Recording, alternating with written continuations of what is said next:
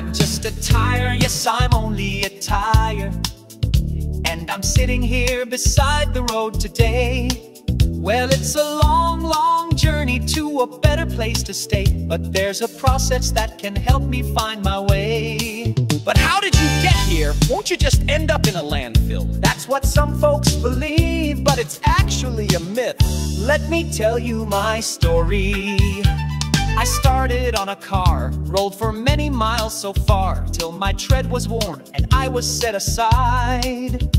Now some tires get dumped, it's true, creating problems old and new, but science shows there's a better way to ride. Really? What happens to tires like you? Well, first they take me to a plant where big machines begin to chant as they shred me into little rubber parts.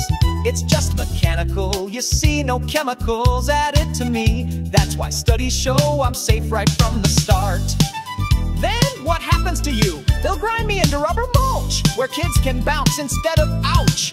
Or crumb rubber fields that drain in minutes flat. Pour in place for walking paths where feet find grip that really lasts.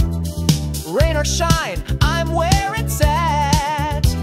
But people say recycled stuff Actually, here's what's really cool. Scientists gave me their full review. A hundred studies say I'm good and safe. I'm built to last and save us cash, plus cushion every leap and dash. Now that's what they call first rate.